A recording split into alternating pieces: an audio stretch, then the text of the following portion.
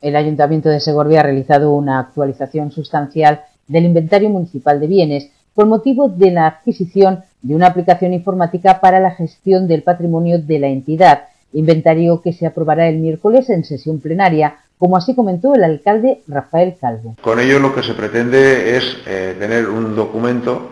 en este momento más amplio y mayor del que hasta ahora teníamos. Ahora teníamos una especie de cuenta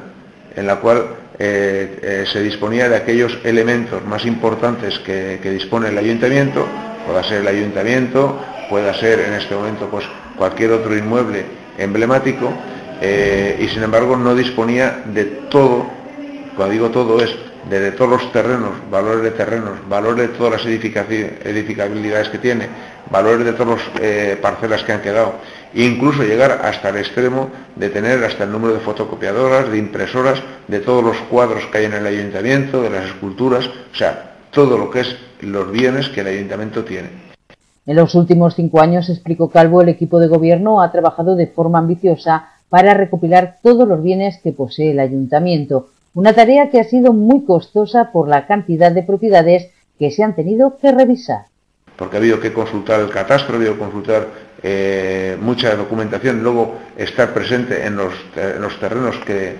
tenemos y tasarlos por un tasador, o sea, ha que darle una tasación y con ello al final saber lo que tenemos, bueno, pues estamos ahora en condiciones de presentar este proyecto ambicioso, este inventario que realmente pocas localidades lo tienen, para que el ayuntamiento también tenga un fiel reflejo de aquello que tiene, eh, digamos, de patrimonio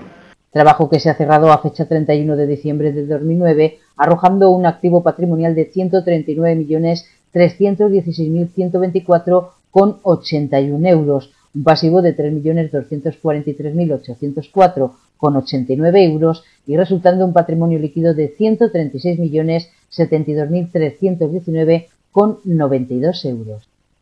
Y ahí no tenemos contabilizado porque ha sido muy difícil la tasación de las obras de arte. Esto es complicado y además es costoso económicamente y entonces el ayuntamiento lo que ha preferido es numerarlas y no tenerlas tasadas porque nos cuesta prácticamente mucho dinero la tasación y eh, posiblemente más adelante lo podamos hacer. Actualmente se está trabajando en la modificación correspondiente al 2010, que también resultará sustancial, dado que se realizaron inversiones importantes que inciden en el inventario municipal de forma relevante porque hay que pensar en la ciudad deportiva, hay que pensar en el Teatro Serrano, hay que pensar en la piscina climatizada, bueno, hay que pensar en la nave del edificio Segóbriga que se encuentra en el sector de arriba, bueno, todas las obras del plan E, del, plan eh, Confianza, que no están aquí, que se acabaron en el 2010, y eh, esto aumentarán esos 136 eh, millones de euros que tiene el Ayuntamiento de Patrimonio. En definitiva, se trata de una herramienta de trabajo que permitirá depurar y actualizar con mayor eficacia la situación jurídica de los bienes integrantes del patrimonio municipal. También a efectos contables de la interventora, cuando haga las liquidaciones de los ejercicios, pues tenga también un poder importante su patrimonio, su pasivo. Por ello, bueno, pues eh, nosotros eh, realmente es una satisfacción porque eh, teníamos mucho interés en saber, porque nunca se había sabido hasta la concreción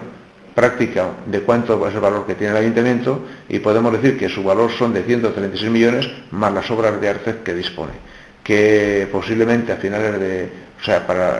antes de que se tome posesión el nuevo ayuntamiento, eh, hemos encargado que a ver si podemos tener ya a fecha de ahora el valor para que la nueva toma de posesión del ayuntamiento nuevo ya sepa con qué patrimonio eh, toma posesión. Circunstancia que lamentablemente yo cuando entré no pude tener esos datos tan importantes para cuando uno se va, saber si deja más o deja menos.